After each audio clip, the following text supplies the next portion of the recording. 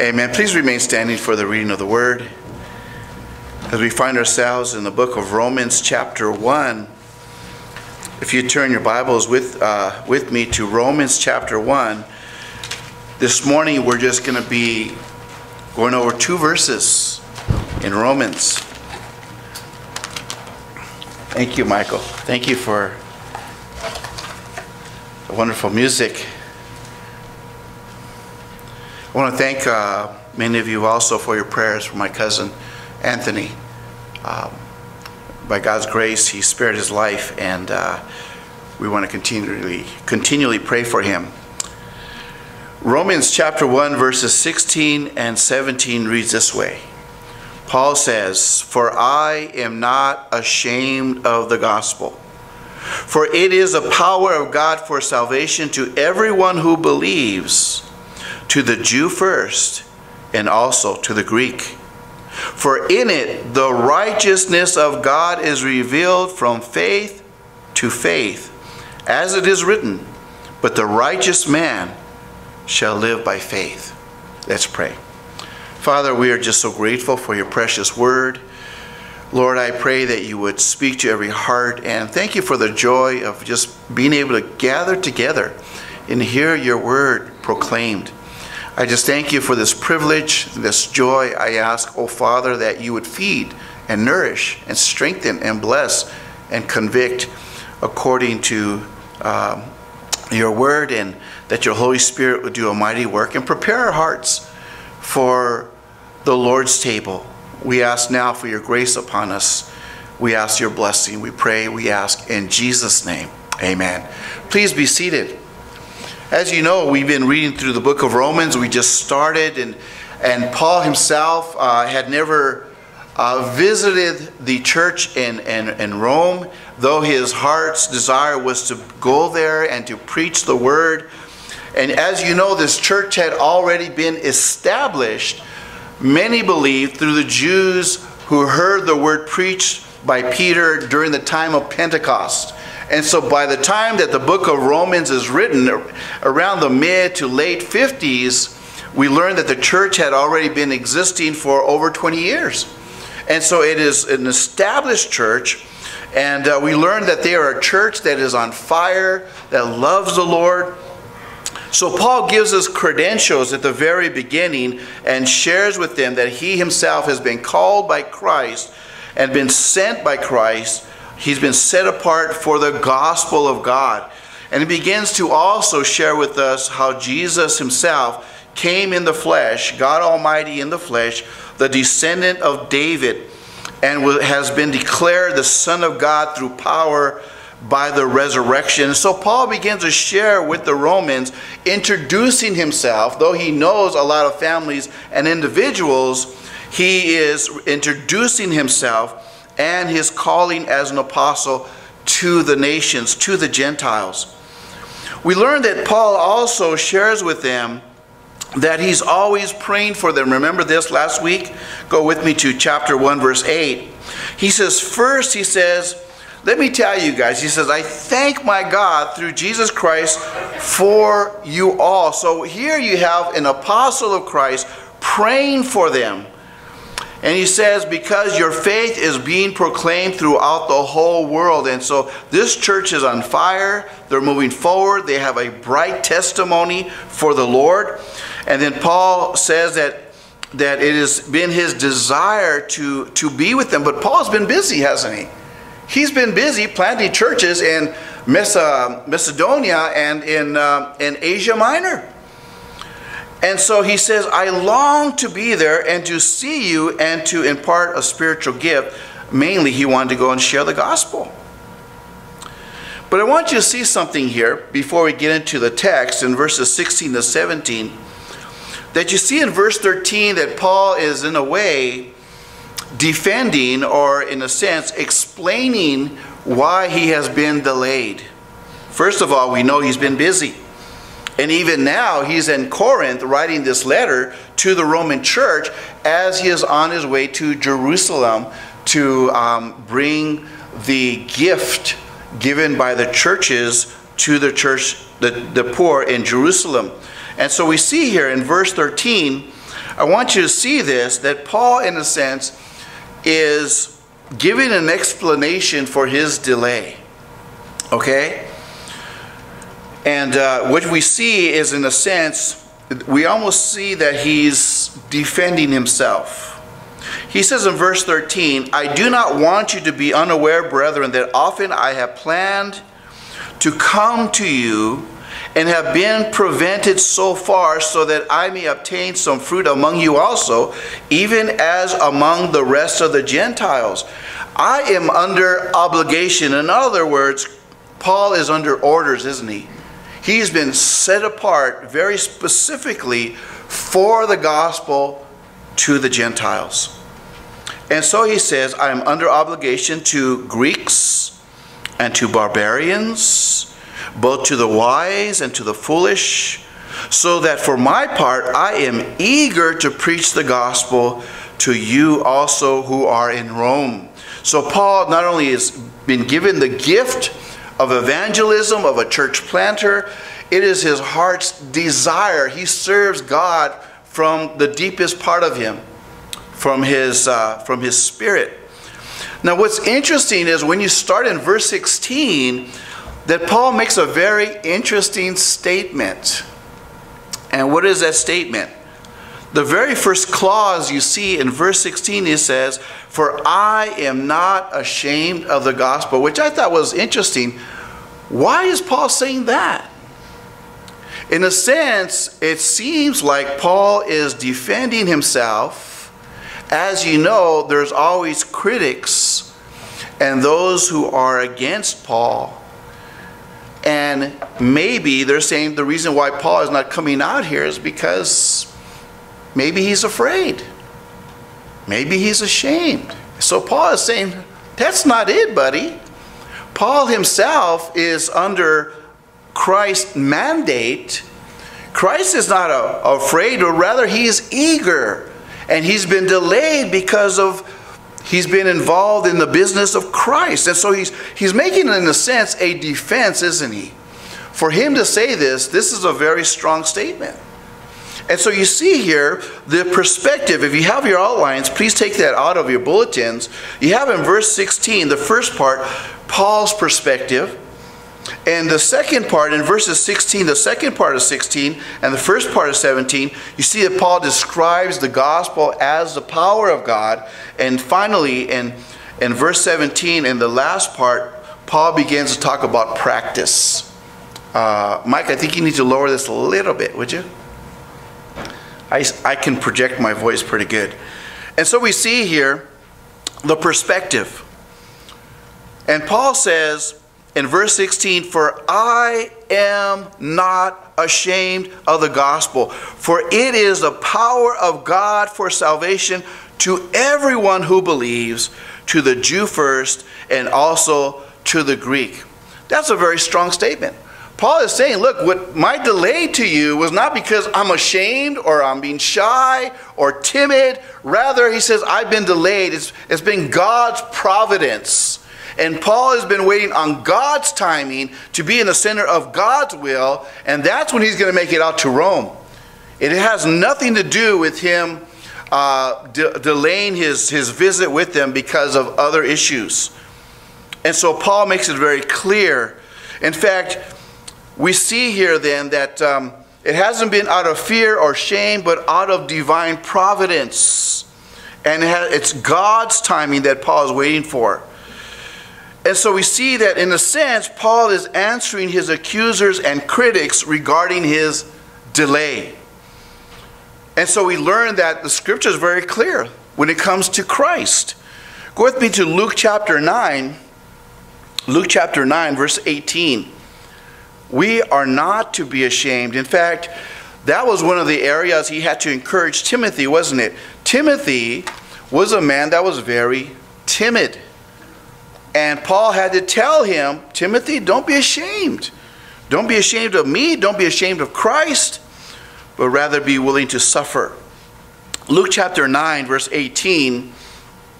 Beloved, we have to understand that when it comes to being a disciple of Christ, and being a Christian, we have to be willing to stand for Christ unashamed and speak for him.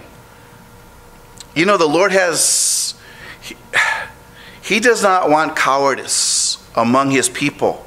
He wants people who are willing to stand and to speak for him and be willing to suffer the consequences. Luke chapter 9, verse 18, what does it say there? Luke chapter 9, verse 18. It says, And it happened that while Jesus was praying alone, the disciples were with him, and he questioned them. Remember this? He questioned them, saying, Who do people say that I am? And they answered and said, John the Baptist, and others say Elijah, but others, one of the prophets of old has risen again. And he said to them, and you guys remember this, this is this is Peter's great confession, right? And he said to them, But who do you say that I am? And Peter answered and said, The Christ of God. And uh, of course, we, we learn it's elaborated. We see it in, in the book of Matthew. Thou art the Christ, the Son of the living God.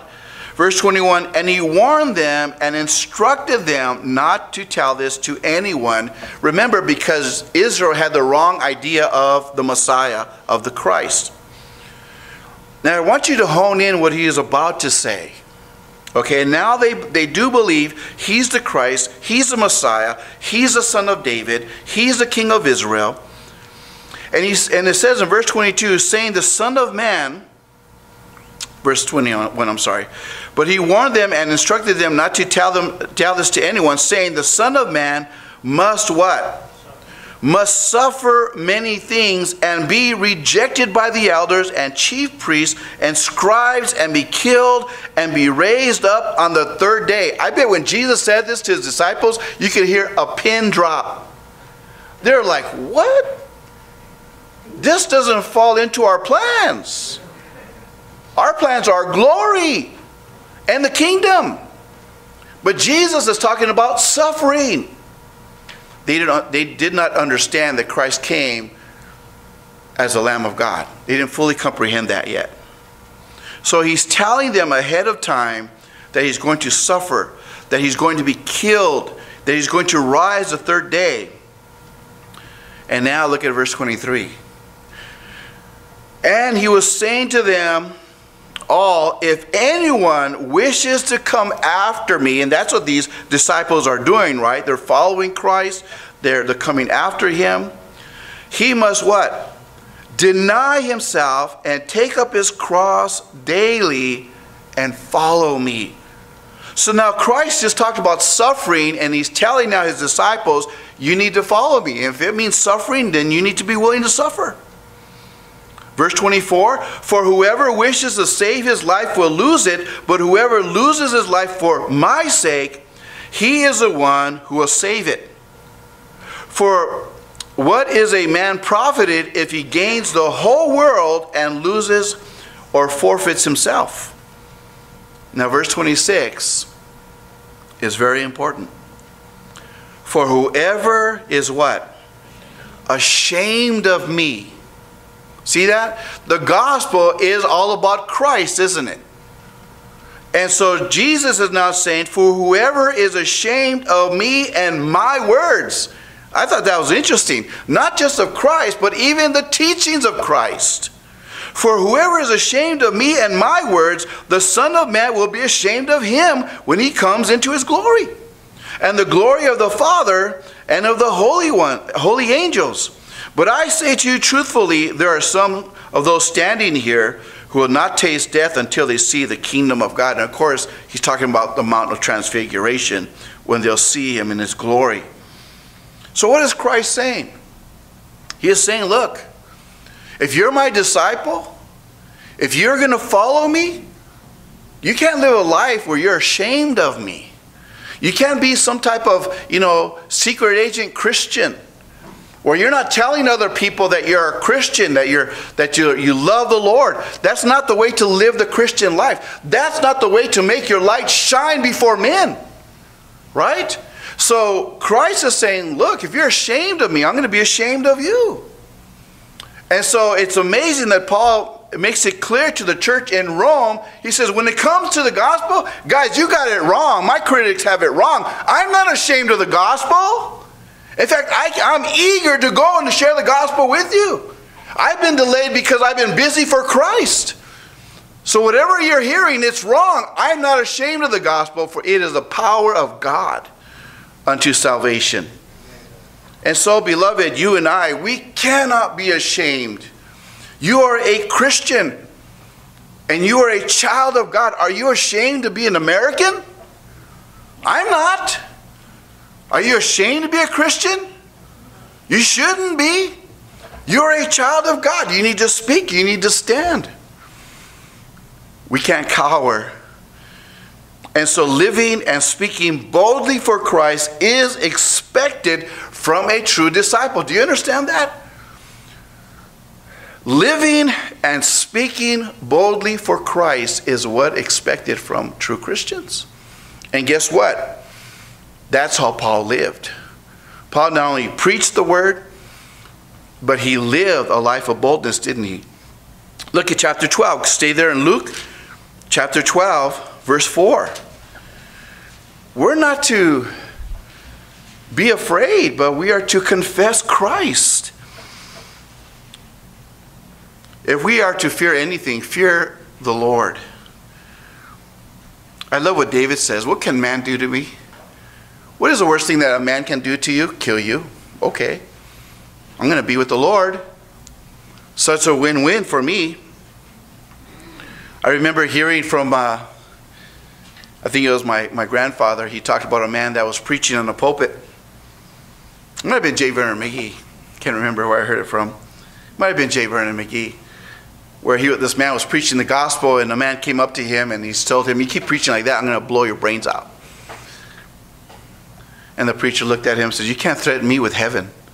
I'm not afraid of heaven. Isn't that true? You're going to send me to heaven? Fantastic. It's not a threat. And if your name is written in heaven, no one can take that promise away from you. And so, what is that man going to say? What's the, that's the worst they can do. Luke chapter 12, look at verse 4. Jesus says, I say to you, my friends, do not be afraid of those who kill the body, and after that have no more that they can do. But I warn you, uh, to uh, I warn you whom to fear. Fear the one who, after he has killed, has authority to cast into hell. Yes, I tell you, fear him. Fear the Lord. Verse 6 Are not five sparrows sold for two cents? Yet not one of them is forgotten before God. Indeed, the very hairs of your head are all numbered. Do not fear, you are more valuable than many sparrows. Verse 8 I say to you, everyone who confesses me before men, the Son of Man will confess him also before the angels of God. Now, you know what people say? Well, Pastor, I'm afraid if I confess Jesus, I might lose my job. Then, friend, you don't need that job. Or if I confess Jesus to my family, they're not going to talk to me anymore. They're going to. Then you know what? That's a consequence. You need to confess Christ to your family. You need to confess Christ where you work. You need to confess Christ. You are a child of God, and if you're afraid of the consequences, then you know there's something wrong. You can't be ashamed because that's who you are. And so Jesus makes it very clear. In verse 8, everyone who confesses me before men, the Son of Man will confess him before the angels of God. Verse 9, but he who denies me before men will be denied before the angels of God. So it's so important that we understand that Christ calls us to confess our, our love, our faith in Christ before men. And if you feel like you're in the position that you're you, um, you can't do that, then maybe you shouldn't be there, right? So you need to confess Christ, you need to be light, and you need to be salt where you are. Go back with me to Matthew chapter 5. Isn't that what Jesus meant, to be light and salt? I think it does. Matthew chapter 5, remember this? Verse 10? After the Beatitudes? So he's talking to uh, not only the disciples, but many of those who are there at this, um, as he's doing this Sermon on the Mount, and he's talking about what a true Christian looks like. And then, after he talks about what a true Christian looks like, they're blessed, right? Those who are poor in spirit, those who mourn, those who are gentle, those who hunger and thirst for righteousness. So in Matthew 5, I apologize for that. Um, after Jesus begins to describe what a true Christian looks like, then he starts in verse 10. He continues with the Beatitudes. And he says to them, Blessed are those who have been persecuted for the sake of righteousness. Isn't that amazing? Right after he's just describing what a true believer looks like, one who is poor in spirit, one who hungers and thirsts for righteousness, you know, they will be satisfied, one who is merciful and so forth. Everything is so beautiful. Then he says, by the way, when you stand for Christ and live for Christ, there's going to be some type of persecution. And so he says in verse 10 Blessed are those who have been persecuted for the sake of righteousness, for theirs is the kingdom of heaven. Blessed are you when people insult you and persecute you and falsely say all kinds of evil against you because of me. These are not secret agent Christians. These are people who are speaking boldly for Christ, living for Christ, living according to their convictions of the Word and filled with the Holy Spirit. These are people who are letting their light shine before men, right? That's why they're being persecuted. Jesus says in verse 12, Rejoice and be glad, for your reward in heaven is great, for in the same way they persecuted the prophets who were before you. Now, I'll tell you this when you're going through persecution and people are, are, are, falsely accusing you of stuff, your heart does not feel like rejoicing. But many times you you feel grieved, but you have to understand this is part and parcel of living for Christ and speaking for Christ boldly. Verse 13 You are the salt of the earth. But if the salt has become tasteless, how can it be made salty again?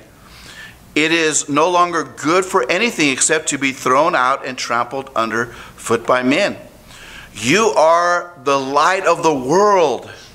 A city set on a hill cannot be hidden, nor does anyone light a lamp and put it where? Under a basket. Can you imagine that? Getting a, a, a flashlight and then suddenly just covering it up? Why do you even have that? Right?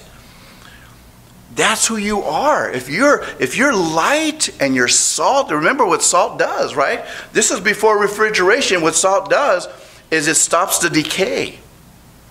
And they would put that in their meat. And it would help the meat not to rot. It you know, it helps with the uh, the decomposition. And then of course light is to see in darkness. Verse 15 nor does anyone light a lamp and put it under a basket, but on a lampstand and gives light to all who are in the house. Verse 16, here's a command here Let your light shine before men in such a way that they may see your good works and glorify your Father who is in heaven. See, that's not being ashamed. Being ashamed is you're hiding the lamp and you're not being salt that means you're not standing and living for Christ and you're not speaking for Christ. And so, beloved, you have to understand Christ calls us not to be ashamed, but to confess Him before others. So, let me ask you are you afraid to confess Christ before your family, before your friends, before your coworkers?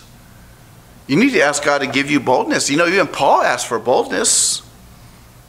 Are you afraid to let your light shine? Sometimes we're a little intimidated, aren't we? But you know what? We still need to do it. We, we need to ask God to give us that boldness. And that many times we, we say, well, you know, if I do that, they're not going to want me to visit them anymore, or they're not going to want me to, you know, to, uh, they're not going to, they're going to ostracize me from all these other things. You know, friend, you still have to live for Christ. Now, I'm not saying to be obnoxious, okay? I'm not saying to be um, mean, but just be willing to confess Christ and speak gently, lovingly, but you have to stand for Christ. And uh, even if it costs you. Remember what he says to Timothy. Go with me to 2 Timothy. Remember, we just talked about him. Paul tells Timothy at this time, Paul himself is in 2 Timothy, Paul's in his last days in 2 Timothy. And what does he say to Timothy? He tells Timothy, Timothy, you need to be bold. 2 Timothy chapter 1, look at verse 7. 2 Timothy chapter 1, verse 7. He says to Timothy, For God has not given us a spirit of what? Or cowardice. That's another way of putting it. God has not given us a spirit of cowardice, right? But of power and love and discipline, or another translation of sound judgment. Therefore, he tells Timothy, do not be ashamed of the testimony of our Lord or of me, his prisoner, but join with me in suffering for the gospel according to the power of God. So, you see what happens when you are light and you are salt and you confess Christ and you live a life of boldness and you, you confess Christ, there could be some suffering involved. And it might begin with your own family members, it might begin with your friends and your co workers. Verse 9 He who saved us and called us with a holy calling, not according to our works, but according to his own purpose and grace, which was granted us in Christ Jesus from all eternity but now has been revealed by the appearing of our Savior Christ Jesus, who abolished death and brought life and immortality to light through the gospel, for which I was appointed a preacher and an apostle and a teacher. For this reason, he says, I also suffer these things, for I, and there it is again, I am not ashamed, for I know whom I have believed, just like the song. And I am convinced that He, the Lord, is able to guard what I have entrusted to Him until that day. You see, beloved, being a Christian is not simply, yes, it's trusting Christ as Savior and Lord, believing that Jesus Christ, God's divine Son, came and He suffered and He died on the cross for our sins. He was buried and He rose again. And yes, it's confessing Christ. In fact, the Bible says that in the book of Romans, right? that if you confess with your mouth Jesus as Lord and believe in your heart that God has raised him from the dead, you shall be saved. But now, how shall we live? We're to also confess Christ publicly and to others. And we are to live a life of righteousness. So they're to see our good works as well. So let's not be afraid. And so Paul is saying to the Romans there, I'm not ashamed. You know, whatever's been said of him, He's telling them up front look, it's not shame that's held me back, it's been God's providence. And so go back with me to Romans 1. And he says in verse 16, I'm not ashamed of the gospel. And here's the reason why. It is a power of God for salvation to everyone who believes, to the Jew first, because they're the one that first had the gospel, in fact, the disciples of Jesus were Jewish men, weren't they? And also to the Greek. For it is the righteousness of God, uh, for in it the righteousness of God is revealed. So, what is Paul saying? First of all, Paul is making a contrast. I don't know if you realize that.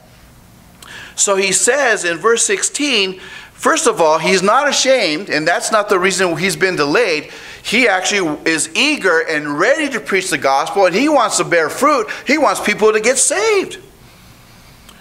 And he's willing to suffer the consequences for it. And then he says, I'm not ashamed of the gospel, for it is the power of God for what? For salvation as opposed to what? As opposed to the law. You have to understand the day and age that Paul is writing this, there were many Jews though the majority of the church were made up of Gentiles, but the Jews believed that, that when you kept the law of Moses, that somehow the law was a power of God unto salvation. And Paul saying, oh, no, no, no. It is the gospel message of Christ. Because salvation is by God's grace alone, faith alone in Christ alone, not by the works of men. And so he's sharing the contrast here. It is the power of God specifically when it comes to salvation. You have to understand that the, the, the mindset of the Jewish men, if you remember in John chapter 3, remember the very first question. In fact, Jesus answered it before it was given. The main question of every Jewish man was, How can I make it into the kingdom of God? And so Paul answers that. It's through the gospel, it's through Christ alone. And so he says, it is a power of God for salvation. Of course, is the word dunamis, right? We get the word dynamite. So the gospel is a message of Christ, of Him crucified, buried, and resurrected through the message of the gospel.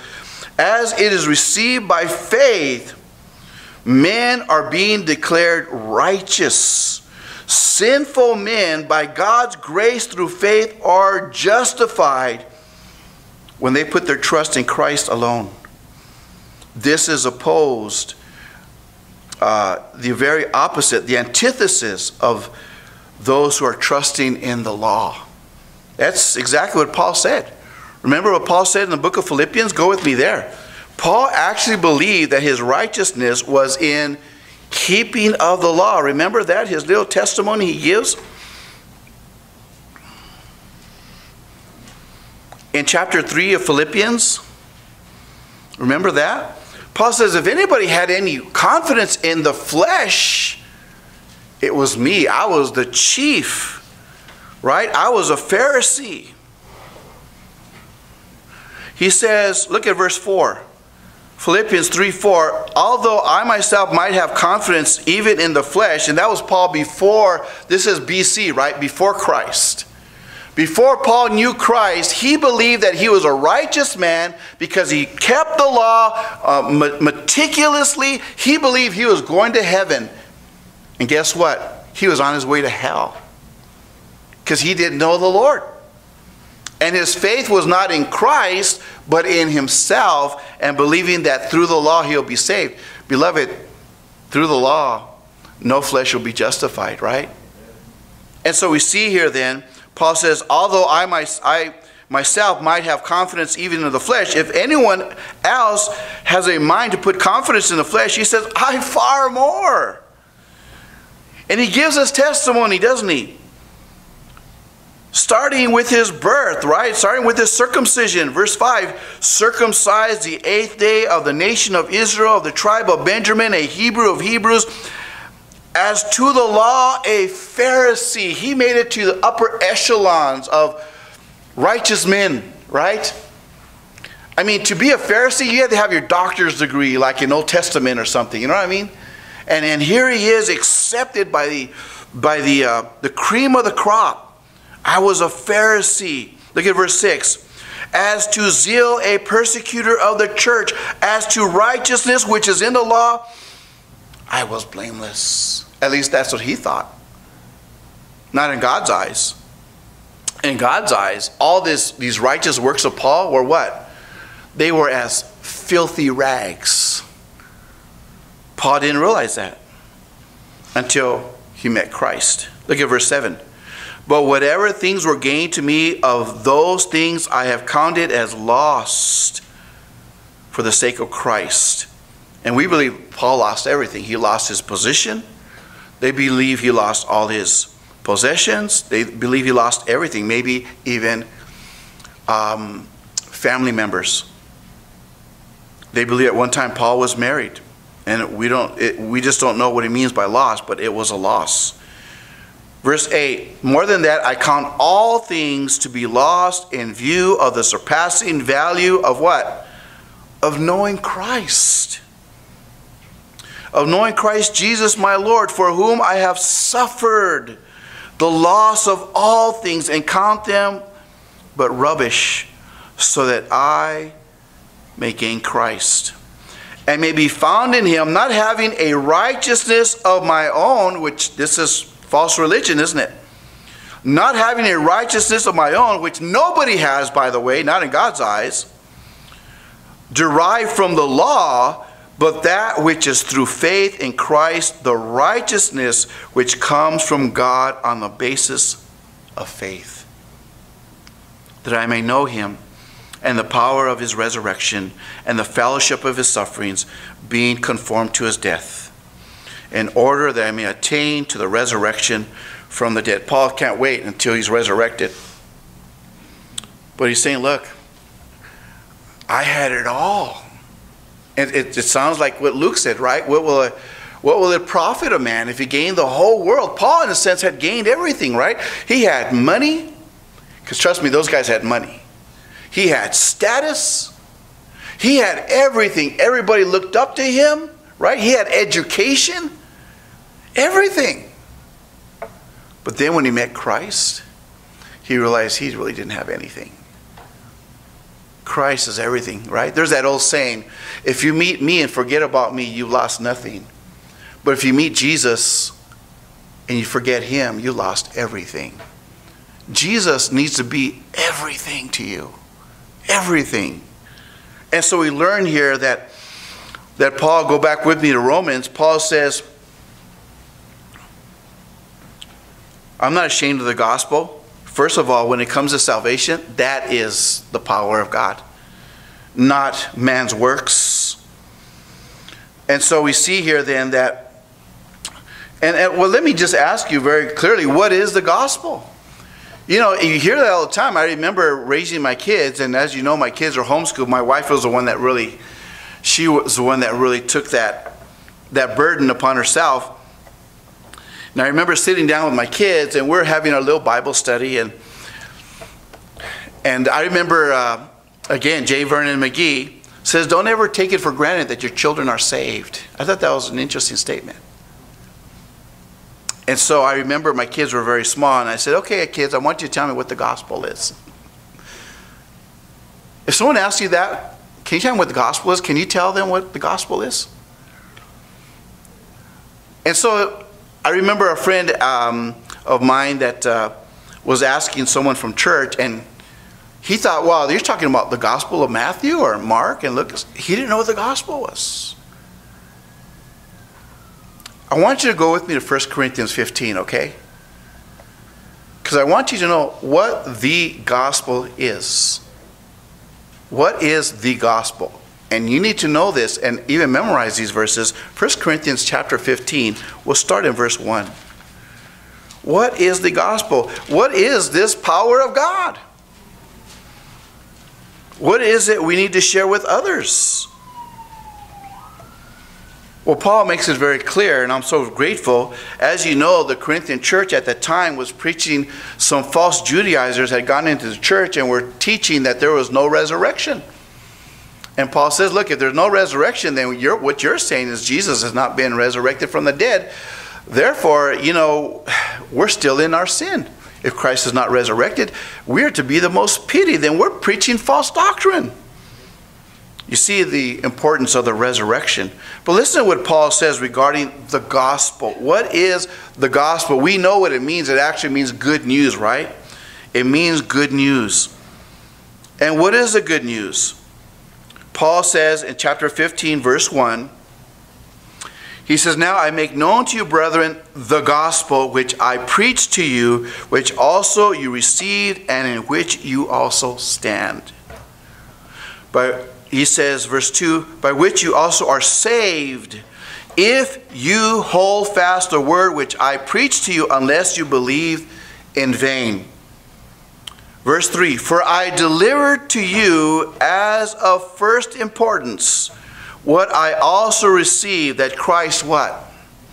That Christ died for our sins according to the scripture. So the first part of the gospel is a sacrificial, substitutionary death of Christ, the Lamb of God, who has come and has died for sinners. So, first of all, he says, This is what I told you first that Christ died for our sins according to the scriptures, and then what? And that he was buried, and that he was raised from. Uh, was raised on the third day according to the scriptures. What is this? That's the gospel. That's the gospel of Christ. It's a substitutionary death of Christ. Jesus, God Almighty in the flesh, came uh, in, in human flesh. Our Lord Jesus Christ, the Son of God, He came. He lived a perfect, holy life because He's God. And He dies a sacrificial death, right? Uh, in the hands of sinful men. He dies for sinners, a substitutionary death. He was buried, and on the third day he rose again. And now, by our trusting in Christ as our Savior, as our Lord, if we believe in our heart that God has raised him from the dead, and if we confess him as Savior and Lord, we can be forgiven and saved. You understand that? So, this is the gospel. When people tell you other things, well, baptism is a part of the gospel, or, or even repentance. Repentance is important, by the way. When you trust in Christ, there should be repentance. There should be a change of heart and a change of mind. But understand what the gospel is it's Christ and his sacrificial death on the cross, his death, his burial, and his resurrection. In fact, if you read the book of Acts, they barely even talk about the death of Christ. They're always talking about his resurrection, right? Because if there's a resurrection, there has to be a death. And so it's important that you and I understand this. Why is this so important? This is where God's wrath, God's justice, and God's mercy meet at the cross, don't they? At the cross, you see the dear Lamb of God, our Lord Jesus Christ, executed on the cross suffering the wrath of God on the cross. Why? Was he a bad man? No. He's innocent. He's dying for others. He's dying a substitutionary death. And you see the wrath of God being poured out.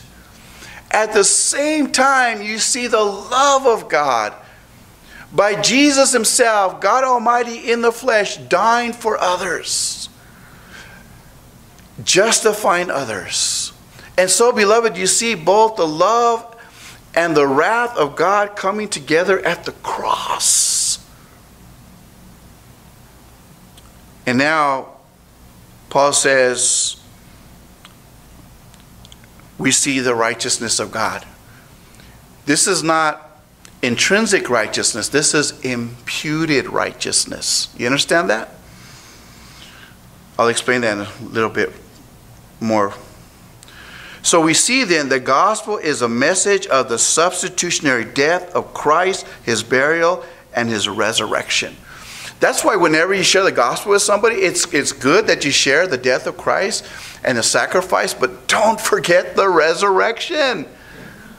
Don't leave them in the grave. Right? Don't leave him on the cross. Don't leave him in the grave. Christ has risen in power, declaring himself as the Son of the living God. Go with me to Luke chapter 24. Isn't this what Jesus calls his disciples to preach? It is. Luke chapter 24. Go with me there. Luke chapter 24. Remember when Jesus appears to his disciples? 2444. After he had eaten, remember? Because they couldn't believe it. They thought they were seeing a phantom or a ghost. And he says, You have any food here? Give me some food. I want you to touch me. I'm flesh and bones. He had his glorified body, right? His heavenly body. And then he says, it says, verse 43, he took it and he ate. This was some fish. Verse 44 Now he said to them, These are my words which I spoke to you while I was still with you, that all things which are written about me in the law of Moses and the prophets and the Psalms must be fulfilled. They all talk about a coming Messiah.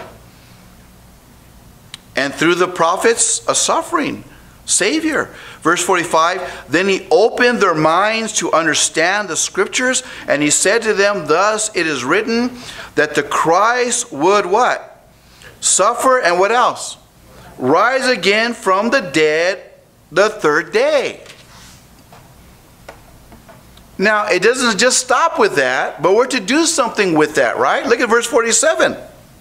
And here's our part, right? And the disciples' part. And that repentance, see that? For forgiveness of sins would be, see the word proclaimed, it means to be preached.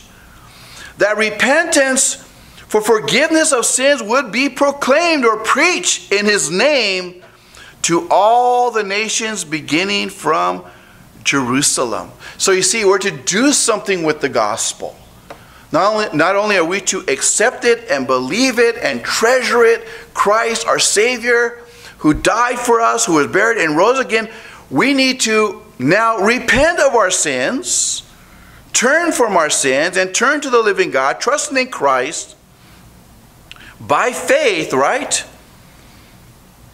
and we're to preach it to others. That's how a person gets saved, right? Now, so people need to hear the gospel. They need to understand the good news, what Christ has done for them. And as you know, before we share the good news, we share the bad news. Here's the bad news. We're all sinners. Romans 3:23 for all have sinned and fall short of the glory of God. Every man deserves God's judgment. Every man is condemned. Why? What did we do? Well, our great great grandpappy Adam represented us and he sinned against God. And because of that sin came into the world because of his disobedience. And now every man is born with a precondition. What is that precondition? Sinfulness. Just see little children, just watch little children fight. Right? I see little kids fight like men. Wow, look at these guys. They fight over toys and candy. I mean, that's their treasures, right? You give a kid toy and candies, that's like gold. You might as well give them a million dollars. Right? And they fight and they're selfish. Who taught them that? I thought they were a blank slate. That's not what the Bible teaches, right? Psychologists will teach you that. Or they'll say deep down they're really good. Bible doesn't say that. We believe in the total depravity of man. Man needs deliverance, he needs salvation. So that's the bad news. And because of man's sin, he deserves God's wrath, God's judgment. That's why we needed a Savior, beloved. And so the gospel is about the Savior who's come down from heaven, who came and died for sinners, was buried and resurrected, and, and, and, uh, and now is at the right hand of the Father. And now, by trusting in Christ as our Savior, as our Lord, we can be forgiven, we can be saved. And so we call people to repentance. It is the power of God, isn't it? And so we see here then that that it's in contrast to the law. Go with me back to Romans. It's in contrast to the law because that's the fallacy back then, right? Read the, if you ever read the Sermon on the Mount, he's contrasting the false teachings of the rabbis over and over again. And in fact, he tells them, unless your righteousness surpasses the righteousness of the Pharisees, you're not going to make it. Because their righteousness was all external. It was and it wasn't through God's grace and faith. It was, they thought they can earn their own righteousness. Romans 3.10, what does it say there? Romans chapter 3, got to get there myself. Verse 10 says, as is written, by the way, this is, this is the natural man, right?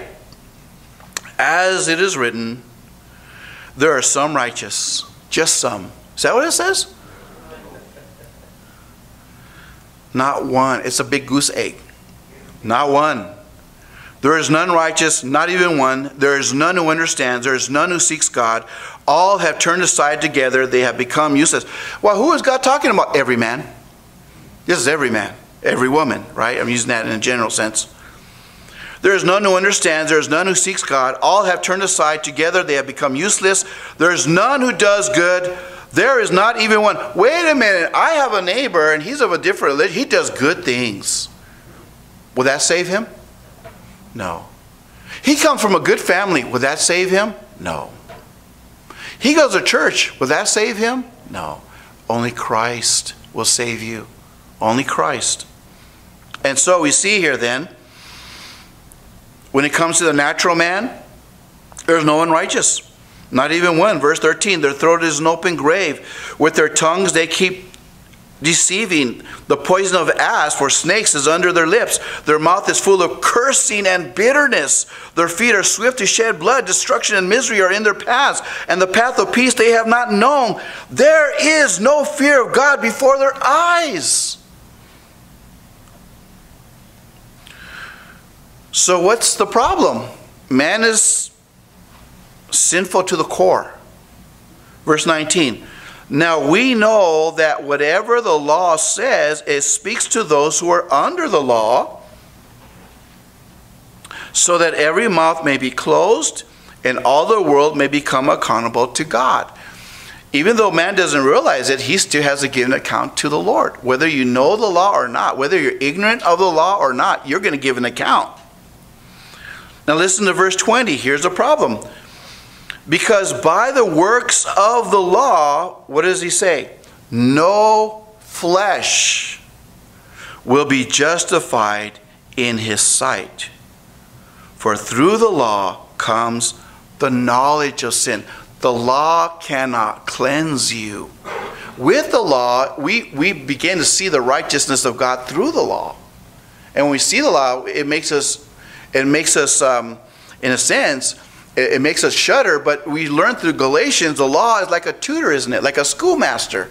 The law leads us to a certain direction. When you read the law and you realize how sinful you are, the first thing you should think about is how do I get saved? I need a Savior because I can't save myself. The Bible says in the book of Romans that Jesus Christ is the end of the law.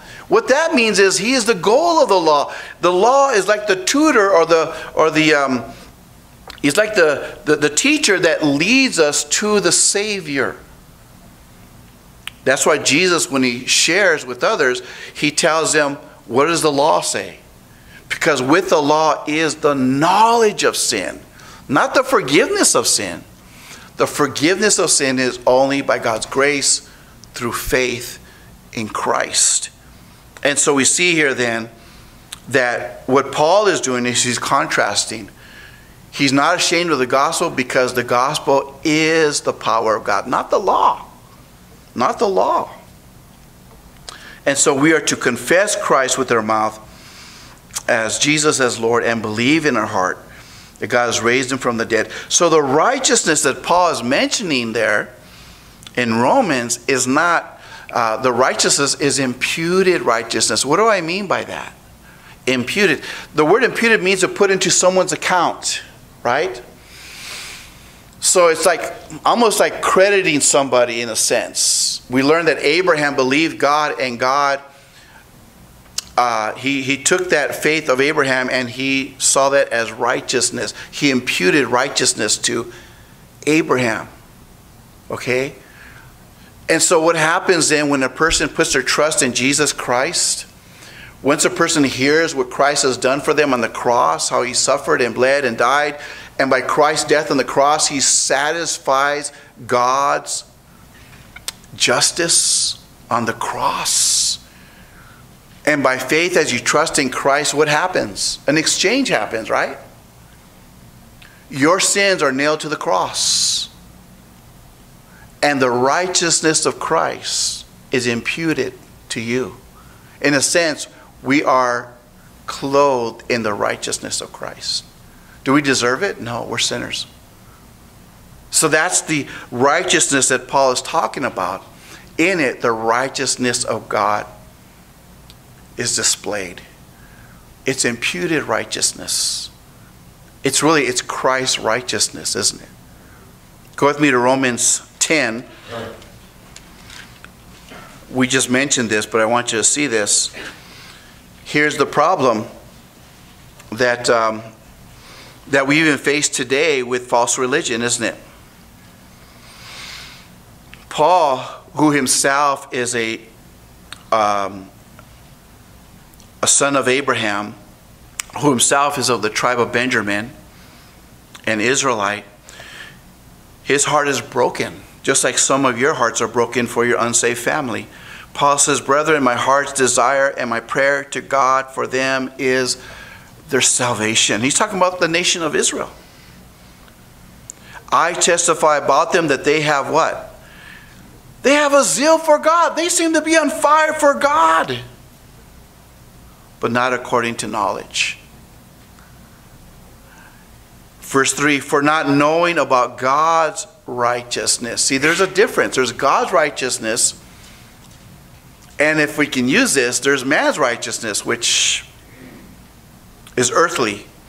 Not knowing about God's righteousness and seeking to establish their own righteousness. See that?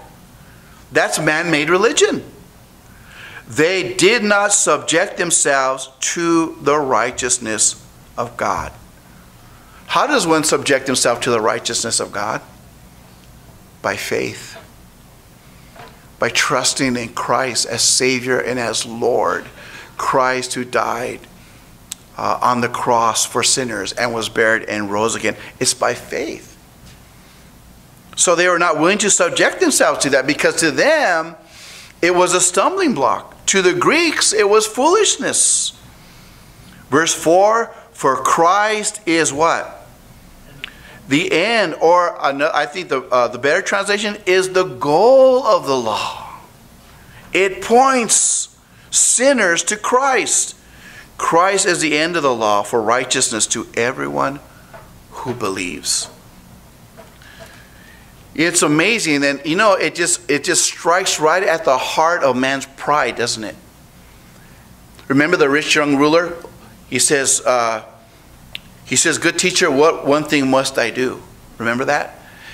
Again, thinking about his own self righteousness, thinking about something he can earn, he can do, rather than just surrendering, confessing, trusting, repenting. And, uh, and Jesus tells him, You have a false God in your life. And what was that false God? It was riches.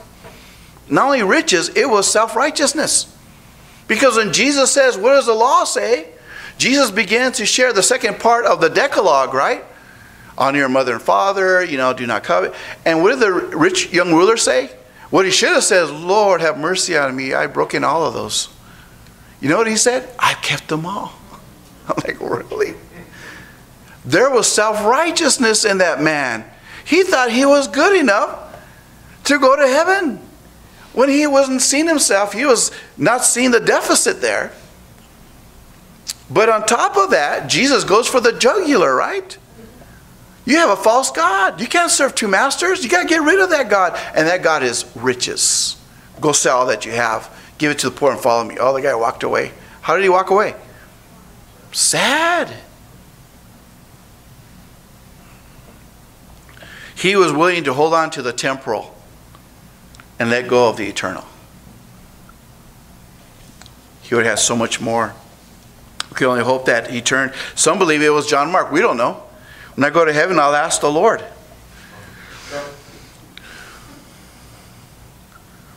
And so we see here then the going back to, to Romans 1, Paul says, I'm not ashamed of the gospel. Don't even accuse me of that. Don't even think that.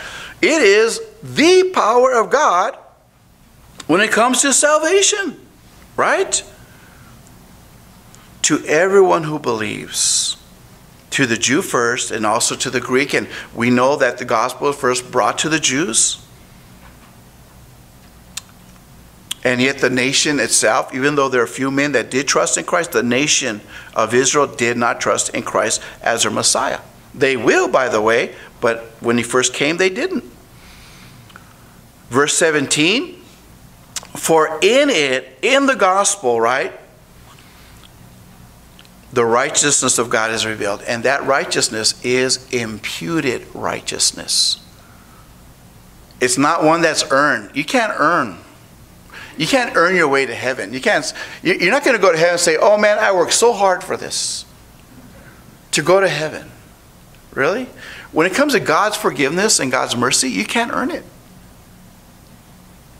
Remember what Ephesians 2 8 9 says, For by what? For by faith you are saved through grace. I mean, think about that word order, okay? It says, For by grace you're saved through faith. You know where salvation begins? It begins with God's sovereign grace. That's where it begins. It begins with God's sovereign grace. God says, I will have mercy on whom I will have mercy. So by grace, you are saved through faith. And that not of yourselves, it is a gift of God. And so, beloved, you can't earn it. You know why you can't earn it? Because the blood of Christ is priceless. When a person says, Oh, I, I think I'm, I'm good, I, I go to church, I do all these things, they're putting their good works to be equal with the blood of Christ. And I tell them, You're false. That's a false teaching. What can equal the blood of Christ? Nothing. It's priceless. It can only be a, a, a gift that can be received by faith. It is the power of God, isn't it? And now he gets into, go back with me to Romans, he gets into practice. So he says here then, in verse 17, for in it, talking about the gospel, it is the righteousness of God, uh, excuse me, the righteousness of God is revealed. And listen to this, it's interesting, because boy, I'll tell you, uh, a lot of different commentaries, a lot of different things. It says, from faith to faith it is written, but the righteous man shall live by faith. And I remember going over that and reading different commentaries, like, what does that mean? And I looked at the original languages, and you have the word ek. When it says from faith, it's ek pistos to ace piston. From faith to faith. One has to do with origin, and the other one has to do with continuation. One has to do with justification, the other one has to do with sanctification. And so we learn that when it comes to, to receiving the gospel, it begins by faith, doesn't it? Of course, by God's grace, through faith. So it starts off out of faith. That's the source, in the sense. In verse 17, from faith or from out of faith, because that's the word ek. Whenever you hear the word ek in the Greek, it means out of. So when someone shares the gospel with you, the Bible says that faith comes by hearing, hearing the word of Christ, right? And then there's faith. As God opens your heart, it begins by faith. There's, there's the justification. The Lord uh, saves you. And not only does it start with faith, but it continues in faith. That's what it's saying when it comes to the gospel from faith to faith, as it is written, but the righteous man shall live by faith. And in other words, we're saved by God's grace through faith in Christ, and we see that, and it's like, okay, that's how a person is justified. What about the way we live? How should we live? We continue to live by God's grace through faith in Christ. You understand? It's a continuous thing. It isn't like, okay, um, I'm, I'm saved and I put my trust in Jesus and, you know, and that's now in the past and now I can go do whatever I want to do. No. The righteous man will live by faith. He will continually believe. Go with me to um, Colossians 2. I want you to see this. And uh, we got to wrap this up and get into the Lord's table here. In Colossians chapter 2, verses 3 to 10, I thought this was a very interesting thing that Paul wrote to them talking to them about the superiority of Christ, how they need to worship Christ.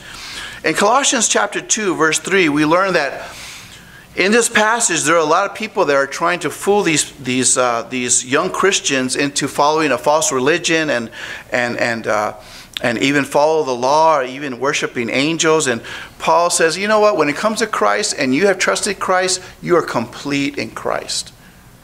It's like the days in the 90s. You remember people were getting into Christian psychology?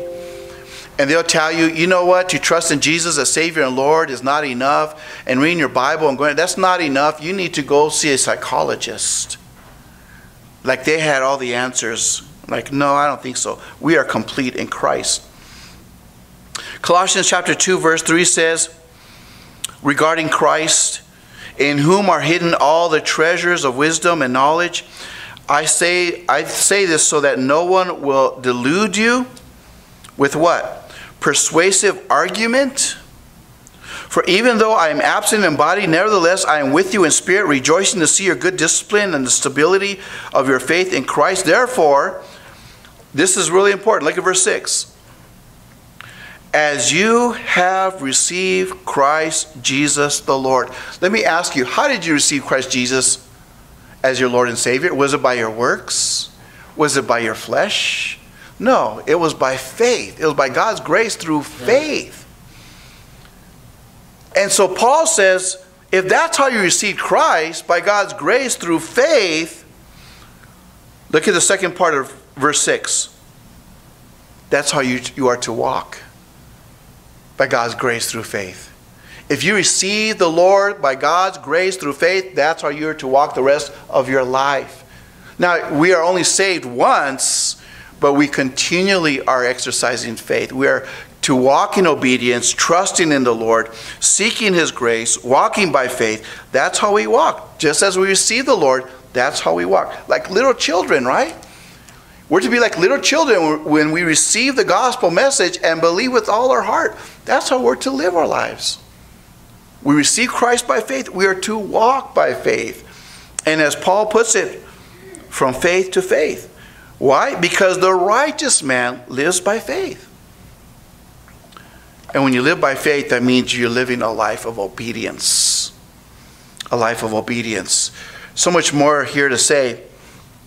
Um, and you see that um, in this passage, you see that that uh, when it comes to um, uh, God's righteousness, again, it's imputed, and uh, and uh, we are to, as we receive the Lord by faith, we're to walk in faith. Uh, and, and if you remember that, um, that uh, in the scripture, Jesus gives us the parable. Remember the parable of the, the tax collector and the, and the Pharisee? Uh, you see, um, the, the righteousness of God is the, the complete opposite of the righteousness of man. And you see that picture with that, that, that Pharisee who is trusting in himself. A man who is saved by God's grace through faith in Christ is one who continues to live by God's grace through faith in Christ. So let me ask you, how do you live your life? Do you walk by faith? Do you seek the Lord on a daily basis? I don't know about you, but I need God's grace on a daily basis, right? Not to save me again, because I'm saved. You're, when you're saved, you're saved once for all. Let me just close with this before we have the men come forward. Remember what Ephesians 2 8 9 says. For by grace you have been saved through faith, and that not of yourselves. It is the gift of God. You have to understand that forgiveness cannot be earned. God's mercy cannot be earned. It has to be given. Right? Can you imagine someone coming up to you and maybe you've seen this where like, oh, you have to forgive me. Or you have to have mercy on me. Like, I don't think so. Though, you know, in Scripture it says we have to do that. We have to obey the Lord. But can't imagine someone demanding for you to forgive them. It's like, no, it's supposed to be a gift. It's supposed to be, you know, from that, that person's heart.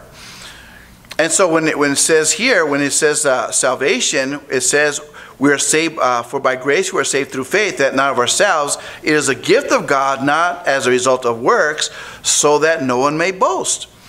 And as I mentioned earlier, notice it doesn't say, for by faith we are saved through grace. Because it doesn't start with man, it starts with God. Again, it begins with the sovereign grace of God. So let me ask you have you received the forgiveness of God? Are you sure that if you die today, that you would be with the Lord forever? Are you saved? Only those people who have repented and trusted in Christ as their Savior and Lord will be saved. Have you done that? Have you called to the Lord and asked Him to save you? Remember that Christ came into this world to save, to deliver, to rescue who? Righteous people? Uh, religious people? No, sinners. That's what we are. And, we're, and, and Christ came to deliver sinners from what? I remember this guy asked me, and I was at, working at Sears while I was going to college. He says, um, people are talking to me about Jesus and about, and he says, I accepted Jesus as my Savior. And then I was talking to my friends, and they asked him, What are you saved from? And he couldn't answer. He was like, I don't know. And a lot of people say, Oh, I'm saved from my sin. No, you're saved from the wrath of God. You understand that? As a result of your sin. Christ Jesus came into this world to deliver, to save, to rescue sinners from the wrath of God, from eternal hell, from the lake of fire. This is why Christ came and suffered and died, right? To deliver sinners. This is why he died a substitutionary death. And three days later, Christ rose again, declaring himself again as a Son of God. So let me ask you have you confessed publicly? Have you confessed publicly Jesus as Savior and Lord? Do you believe in your heart that God raised him from the dead? That's what we need to do, don't we? Well, I'm going to pray and then I'm going to have the men come forward. Let's pray. Father, we're just so thankful for our Lord Jesus. We thank you, Father, for the gospel message that's all about Christ and Him crucified, buried, and resurrected. And now, Father, because because of what Christ has done for us on the cross, where He paid the penalty, where He took upon Himself the wrath of God, we can be forgiven by faith in Christ alone. Thank you, Lord, for saving us, and thank you for not giving us what we deserve. And thank you, Father, for clothing us in the righteousness of Christ that we don't deserve. We ask now for your grace as we prepare our hearts uh, for the cup and uh, for the bread. We pray in Jesus' name. Amen. At this time, I'm going to turn over